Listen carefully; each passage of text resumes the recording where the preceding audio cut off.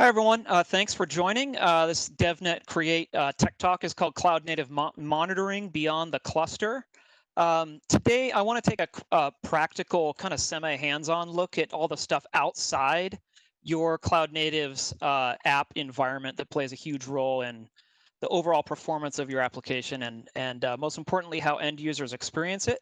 My name is uh, Hans. I've been messing around with cloud and network automation stuff for over 20 years. It's um, great to be part of DevNet um, this time around. I've had the pleasure of um, doing some stuff with DevNet uh, in in the past, and it's just awesome to see um, how much DevNet has done to really create a true developer culture uh, within Cisco. Um, just a quick note uh, and sort of in the spirit of collaboration, um, I do want to make as much uh, code from today uh, available on either GitHub or the DevNet Code Exchange. Um, as as Thousand Eyes, you know, we're excited to be the the new kids on the block here at Cisco. I think that this is probably the first time that Thousand Eyes has been involved in a um, DevNet like this. So um, because of that, I'm gonna I am gonna walk through you know some practical stuff on how to use thousand eyes and and you can kind of do some of this stuff uh, yourself as well. If you need a trial with thousand eyes you can sign up at thousandeyes.com um, and again i'll try and make as much code um, available as i can.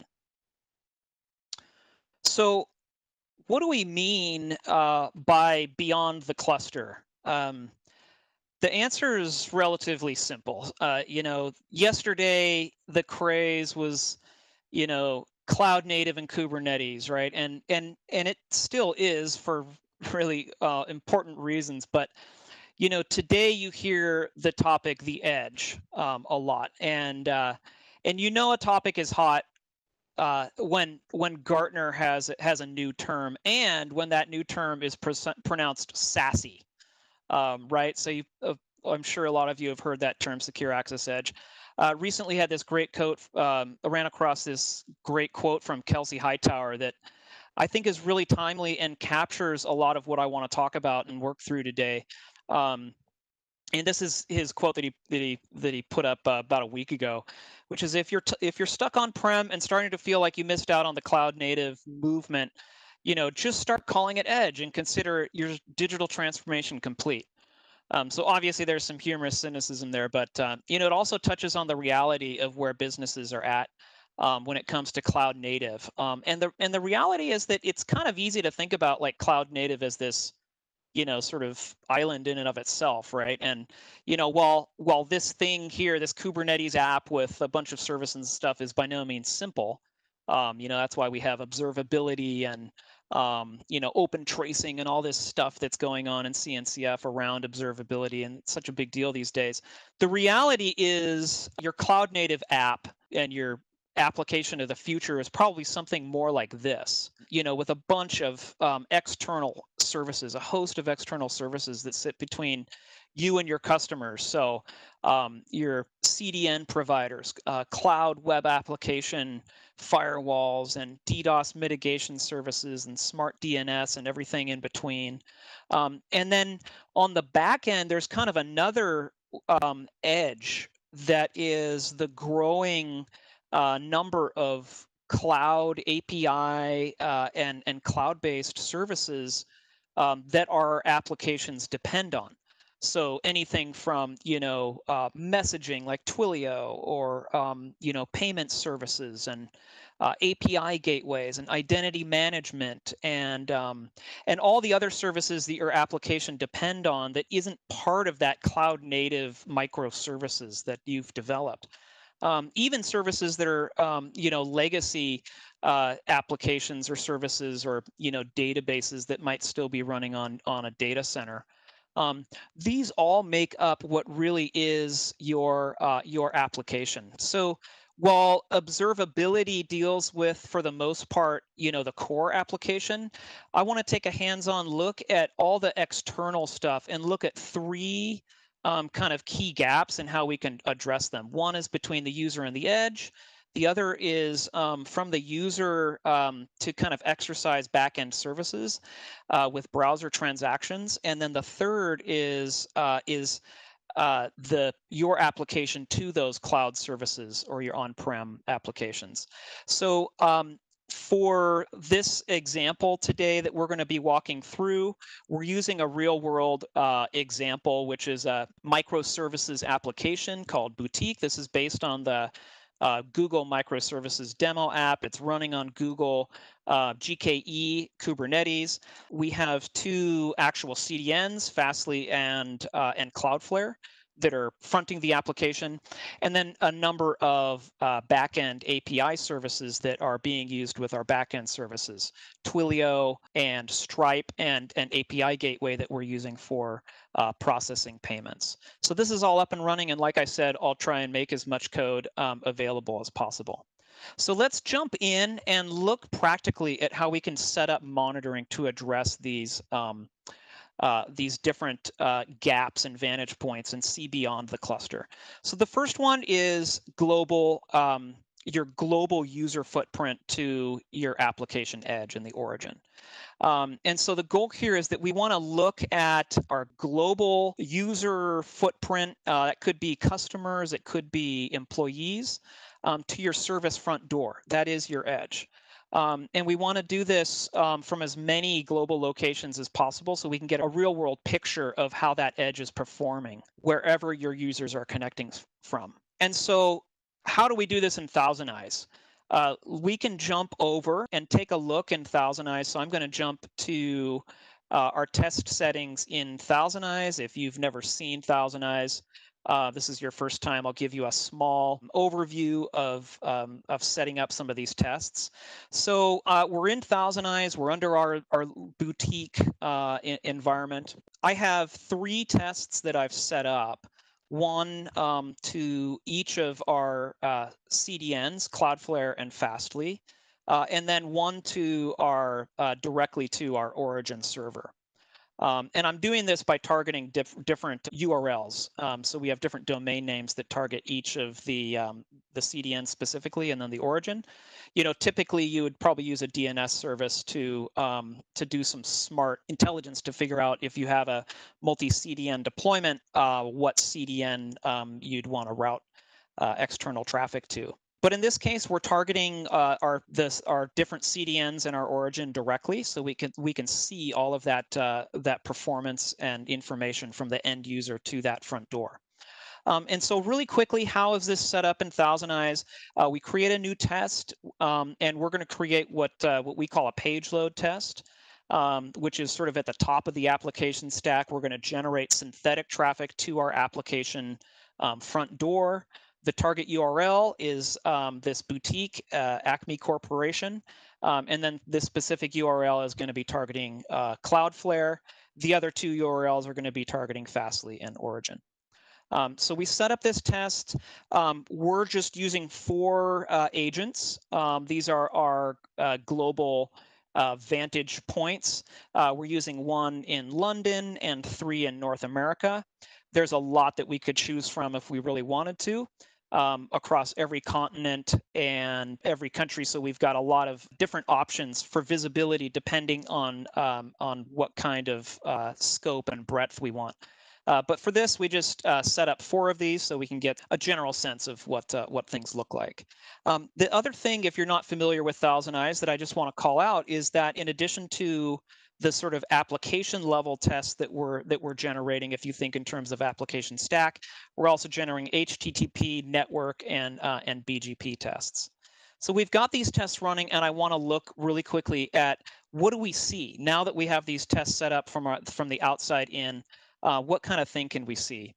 Um, i've got these tests configured and they've been running for um, for a number of days now, and I'm capturing uh, data so I can kind of go back in time, um, sort of like a replay recorder here, and I can see all of the all of the metrics and and data that we're capturing. And I want to look at page load times because that's you know one of the most important metrics in terms of understanding how end users are really experiencing our site. So what do I see that um, from the data that we're capturing that uh, there it looks like there's something going on um, that was happening on the 27th uh, just a couple days ago and we're we're looking from the vantage point of our um, of our London uh, location, and we're looking at Cloudflare. Now, if we look over at Fastly and our test to the origin, we don't see this spike in uh, in page load times. Um, so it looks like uh, there's something that is going on um, with our London vantage point to Cloudflare. So immediately we can see a lot of really interesting information about how our different um, providers are, are, are behaving from different um, locations around the world.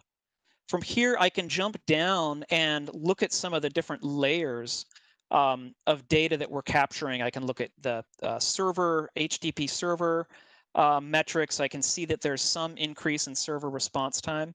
And ultimately, I can drill all the way down and look at our network metrics, as well as the end-to-end path visualization um, from our vantage point. So I want to look at this London, England vantage point and uh, zoom in on that and see if we can see anything.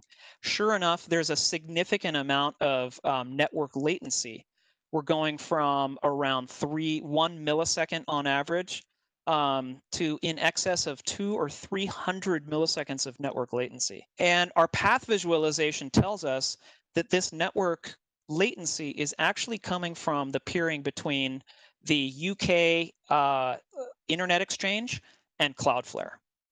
So in just a matter of seconds um, or minutes, I've uh, I've been able to take our uh, our, our our vantage points that we have set up and identify some real world um, issues that are impacting our digital experience.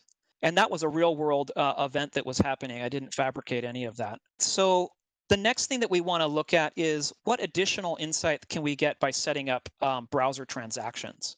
Browser transactions allow us to exercise the actual website and perform things like adding things to the cart and uh, maybe you know ordering an item. So that's what we have set up. And the goal there is to get deeper insights into what backend services are being exercised when we when we um, when we perform those actions. From here, we have a number of tests set up in Thousand Eyes. And just like the page load test, it's exactly the same, except that we're actually running some transaction um, scripts here that are adding an item to our cart and then um, actually making an order purchase. Uh, and so if we look at those views, uh, I've got this set up already so that we can take a look at something that we've that we've found in the real world.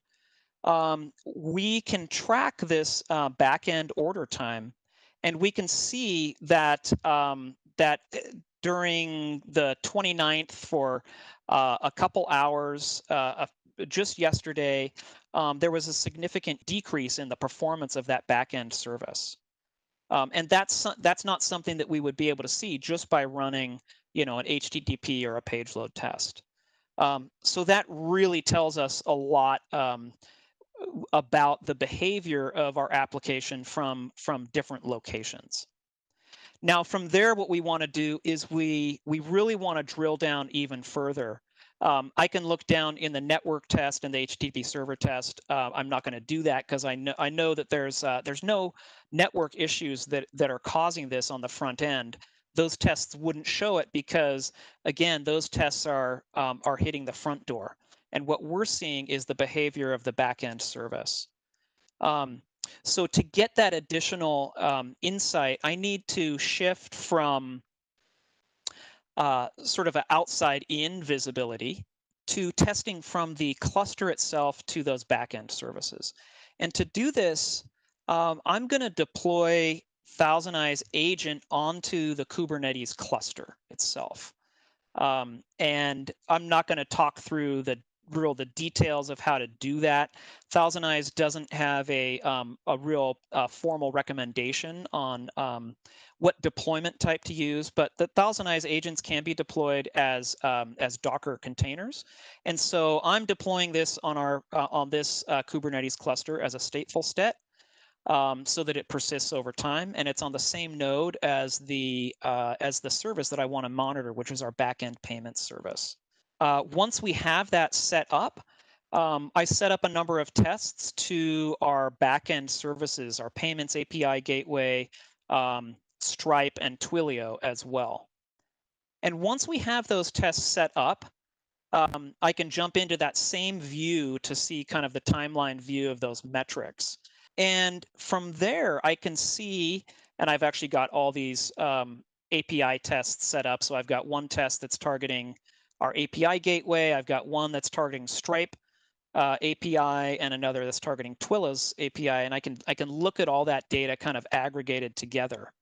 Um, and there is a significant increase in um, in HTTP server response time, um, and that if I look at kind of the overview here, it's clearly coming from our payments API service. So our average response time for some of these other cloud services um, is you know around 400 500 milliseconds uh, but our response time for our payments API gateway is um, is over two seconds. Now that I have this this uh, ThousandEyes agent deployed within the cluster, I can drill down to get um, to get more insights and to see if in fact this is something like a network issue. Um, so if I do that, I drill down into the network layer test and look at the path visualization. I can't actually see um, if I select that uh, that API server. The latency is coming from an increase in network latency. Uh, so what we're seeing is um, network degradation on the back end, maybe in the internet. Uh, looks like here it has to do, um, there's network loss um, hitting our API server, which is hosted in Amazon.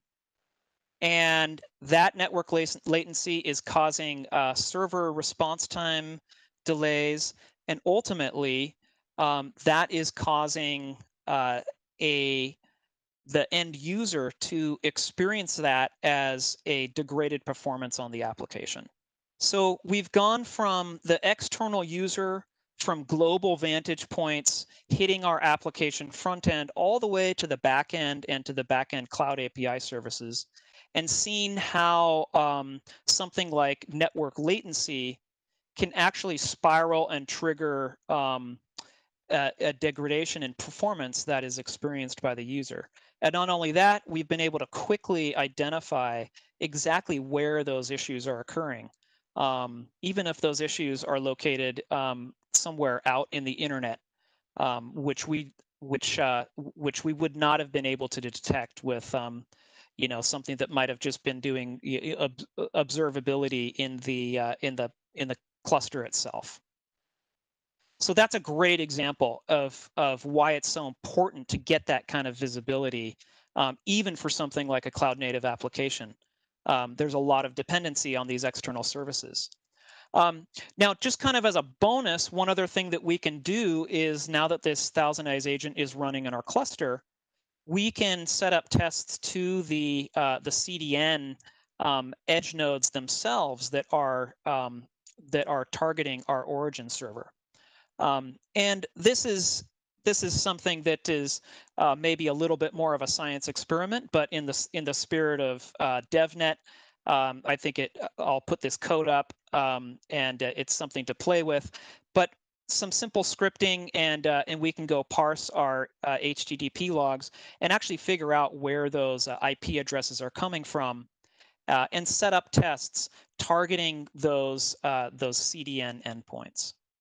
So to wrap up, with all of this together, you know, what might we want to want to do next? One obvious thing is to set up um, you know some dashboards and reports that provide you know kind of a high level overview of your global application performance and then i mentioned some apm tools um, uh, another clear next step would be to integrate some of this information with a tool like AppDynamics that's doing um, some of the more deep application monitoring um, at the uh, cloud native and, and in the data center um, to get full end-to-end visibility of the application. So I hope this um, was insightful and provided a practical view into how to address, um, you know, all of the challenges that you might see outside the cluster.